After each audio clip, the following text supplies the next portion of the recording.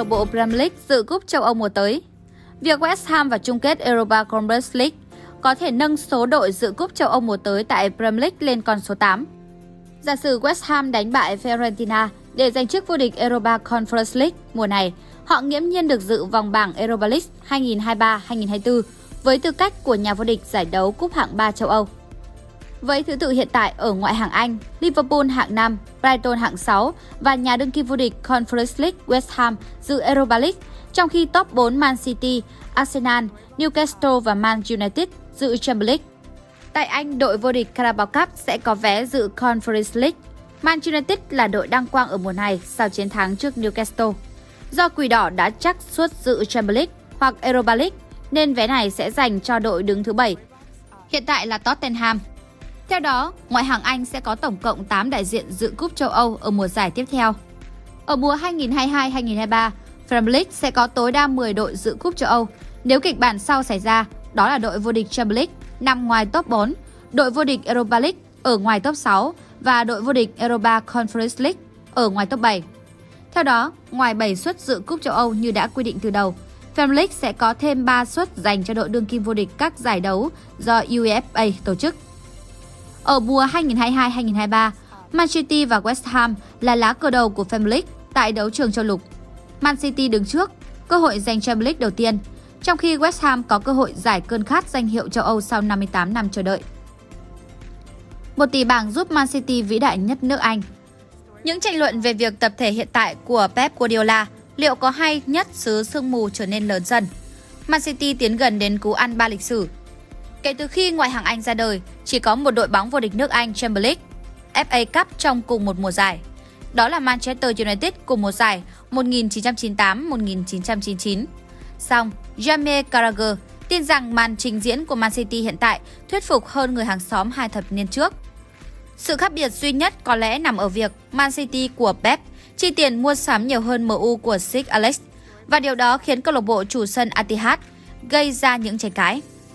Màn trình diễn ấn tượng Nếu Man City lên ngôi ở Champions League mùa này, họ sẽ nằm trong số ít những câu lạc bộ vô địch với phong độ áp đảo cả giải đấu. Không nhiều đội bóng trong quá khứ thể hiện màn trình diễn ấn tượng như Man City tại sân chơi hàng đầu châu Âu. Barcelona của chính Pep mùa giải 2010-2011, AC Milan của ba thập niên trước, Bayern Munich mùa giải 2019-2020 là những đội từng chơi ấn tượng như Man City tại Champions League. Chiến thắng 4-0 trước Real Madrid ở lượt về bán kết Champions League mùa này tái khẳng định sức mạnh của Man City. Lần gần nhất, Los Blancos để thua 0-4 ở sân chơi danh giá nhất châu Âu, cấp câu lạc bộ, rơi vào mùa giải 2008-2009 khi họ bị Liverpool đánh bại. Song đó là một trận đấu diễn ra ở vòng bảng và Real Madrid ngày ấy không có vị thế đương kim vô địch như hiện tại. Tập thể của huấn luyện viên Carlo Ancelotti được kỳ vọng ngáng đường Man City, nhưng họ bị áp đảo hoàn toàn. Real Madrid giống như Bayern Munich, Leipzig hay Dortmund không thể cản nổi nửa xanh thành Manchester. Man City tiếp tục duy trì thành tích bất bại tại Champions League mùa này và đang tiến gần đến cơ hội vô địch. Cũng chỉ có 6 câu lạc bộ trong lịch sử bóng đá châu Âu gồm Celtic, Ajax Amsterdam, BSV, MU, Barca, Inter, Bayern từng giành cú ăn ba châu Âu, trước vô địch quốc gia và cúp quốc gia trong một mùa bóng. Điều đó cho thấy sự khác biệt của Man City mùa này. Tính trên bình diện nước Anh, đội bóng của Pep đang trình diễn thứ bóng hiếm có trong lịch sử. 24 năm trước, MU của Sir Alex bị Bayern Munich dồn ép trong phần lớn thời gian của trận chung kết Champions League và chỉ vô địch sau những bàn thắng thần kỳ phút bù giờ. Tại bán kết, Quỷ đỏ cũng vất vả trước Juventus và cũng có màn lội ngược dòng khó tin khác để vượt qua đại diện Italy. Ở vòng bảng, MU cũng chỉ xếp thứ hai tại bảng D khi kém Bayern. Chính vì thế, có thể nói MU của mùa giải 1998-1999 không chơi quá thuyết phục như Man City hiện tại. Tuy nhiên, nếu tập thể của Sir Alex tự hào với dàn cầu thủ cây nhà lá vườn mang tên thế hệ 92, thì Man City hiện tại được xây dựng dựa trên hàng tỷ bảng và tiền dầu mỏ của người UAE. Thước đo cho sự vĩ đại Có nhiều thước đo để làm nên sự vĩ đại của một đội bóng. Một trong những yếu tố đó có thể là xuất thần của các cầu thủ. MU luôn tự hào rằng thành công của thế hệ 92 từ Lo Carrington như anh em nhà Nivali, Ryan Giggs hay David Beckham chính là nguyên nhân quan trọng giúp họ giành cú ăn ba lịch sử mùa giải 1998-1999. Ở điểm này, MU giống như Barcelona của mùa giải ăn 3 2008-2009 khi đều thành công với những ngôi sao do mình tự đào tạo. Trong khi đó, Man City thời Pep chi tiêu hơn 1 tỷ bảng cho việc mua sắm cầu thủ Opta. Không huấn luyện viên nào ở châu Âu hiện tại chi nhiều hơn trong giai đoạn dẫn dắt một câu lạc bộ như chiến lược gia xứ Catalonia. Chẳng ai dám phủ nhận tài năng của Pep. Song nhiều người sẽ đặt câu hỏi là liệu chiến lược gia này có thành công tại Man City như hiện tại nếu không được chi tiêu thỏa thích.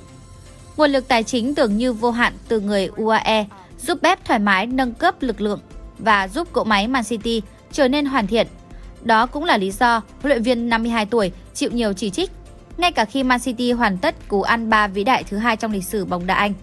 Không ít người hâm mộ MU chắc chắn sẽ tin rằng đối thủ cùng thành phố chưa thể là tập thể vĩ đại nhất mọi thời đại của xứ sương mù. Radcliffe tự tin làm hài lòng nhà Glazer. Nhà báo Ben Jacobs của CBS cho rằng đã có những dấu hiệu lạc quan sau đề nghị mùa lại của Sir Jim Radcliffe Tháng 11 năm ngoái, gia đình Glazer gây bất ngờ khi thông báo họ sẵn sàng ra bán Man United nếu nhận được những lời đề nghị hợp lý. Theo The Athletic, tỷ phú Sir Jim Caleb tin tưởng tập đoàn Ineos sẽ hoàn tất việc mua lại quỷ đỏ. Đầu tháng này, có thông tin Radcliffe là bên được nhà Glazer ưu tiên đàm phán bởi họ đề xuất để lại một lượng cổ phần nhất định cho Glazer. Nhà báo Ben Jacob cho biết Radcliffe đang khá tự tin với gói thầu gần nhất đã gửi. Jacobs nói với Gimme Sport, Radcliffe hài lòng với những gì ông ấy đặt lên bàn đàm phán vào thời điểm này. Điều đó thực sự có nghĩa là ông phải chờ xem liệu lời đề nghị linh hoạt của ông trong việc kiểm soát câu lạc bộ có được nhà Glazer chấp nhận hay không. Vẫn còn sự lạc quan từ Radcliffe bởi vì họ cảm thấy họ không chỉ tuân thủ quy trình mua mà còn đưa ra cho nhà Glazer những lựa chọn phù hợp, Jacob bổ sung. Theo Sky Sports Sheikh Jassim bin Hamad Al Thani không từ bỏ cuộc chiến giành lấy Man United khi đã gửi lời đề nghị thứ tư đầu tuần này. Đề xuất đã lên con số 5 tỷ bảng, nhưng nó vẫn còn cách khá xa mức giá 6 tỷ mà nhà Glazer mong muốn. Gã khổng lồ vào cuộc, vụ MU Kim Menje có thể bị lật kèo. Theo RMC Sport, Man United không phải là đội bóng duy nhất muốn có sự phục vụ của Kim Menje. Huấn luyện viên Erik Ten Hag muốn ổn định đội hình sớm hơn trong hè này. Do đó, Man United tìm cách đưa ra quyết định chuyển nhượng nhanh chóng trước khi mùa giải kết thúc. Hàng thủ chắc chắn cần được tăng cường khi Harry Maguire và Victor Lindelof sắp rời Old Trafford. Ở đó, Kim Manje của Napoli được Man United quan tâm. Báo chí Italy liên tục tiết lộ một thỏa thuận dành cho Minje đang trên đường hoàn tất. Man United sẵn sàng ký hợp đồng với hậu vệ người Hàn Quốc ngay lập tức để củng cố tuyến phòng ngự. Theo Fabrizio Romano, Man United theo đuổi Kim là có thật. Song thỏa thuận chưa hoàn tất, Kim được Transfermarkt định giá 50 triệu euro, nhưng Man United có thể chiêu mộ cầu thủ này với giá khoảng 60 triệu bảng. Tuy nhiên, Man United bất ngờ gặp trở ngại lớn ở thương vụ này. Cụ thể, theo RMC Sport, PSG đã nhảy vào cạnh tranh với Man United trong việc theo đuổi Kim. Thậm chí PSG nhanh chóng liên hệ với đại diện của hậu vệ này. Giám đốc thể thao của PSG, Luis Campos, đã gặp phía Kim. Người cũng đã có cuộc đàm phán với Man United. Kim, nếu rời Napoli, ưu tiên chuyển đến Premier League. Song với lời đề nghị hấp dẫn từ Besker, Man United hoàn toàn có nguy cơ vượt mất mục tiêu số 1. Không ngạc nhiên nếu Sancho rời Man United. Trên Cops of Strikes, cựu tiền đạo Liverpool Stan Collymore đưa ra nhận định đáng lo ngại về tương lai của tuyển thủ Anh tại Old Trafford. Hè 2021, Man United cuối cùng chiêu mộ thành công Jadon Sancho sau quãng thời gian dài cất công theo đuổi. Đội chủ sân Old Trafford tiêu tốn tới 73 triệu bảng để đổi lấy sự phục vụ của Sancho. Tuy nhiên, những gì cầu thủ này để lại tương đối thất vọng. Một mùa giải với nhiều thăng trầm dưới thời Ole Gunnar Solskjaer cùng huấn luyện viên tạm quyền Ralf Rangnick khiến Sancho mất đi hẳn sự tự tin. Mùa này, huấn luyện viên Erik ten Hag cố gắng giúp Sancho lấy lại thể trạng và tinh thần, nhưng tình hình không mấy cải thiện. Sancho mới đá chính 18 trận ở Premier League mùa này, cùng thời điểm Alessandro Garnacho phát triển mạnh mẽ và thường xuyên tạo nên khác biệt mỗi khi được trao cơ hội. Chứng kiến điều này, cựu tiền đạo Liverpool Stan Collymore nhận định Marcus Rashford thường đá chính với Anthony bên cánh phải. Và nếu đúng như vậy, điều đó có nghĩa là Sancho hoặc Garnacho sẽ bắt đầu bên trái. Cá nhân tôi mặc dù là một fan hâm mộ lớn của Sancho, nhưng tôi sẽ chọn Garnacho. Cậu ấy còn trẻ, nhanh nhẹn và rất kỹ thuật. Vì vậy tôi nghĩ Garnacho sẽ là đối thủ khó nhằn dành cho cầu thủ như Kyle Walker.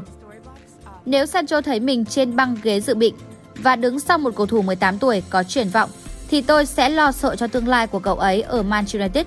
Cậu ấy còn trẻ và có thời gian để đạt đến đẳng cấp được kỳ vọng, nhưng không ngạc nhiên nếu Sancho bị đem cho mượn. Tất cả các đội bóng hàng đầu ở Ý và Đức sẽ xem xét hỏi mượn Sancho một hoặc hai mùa. Nhưng nếu muốn bán, Quỷ đỏ sẽ phải chấp nhận mất mát một khoản phí rất lớn.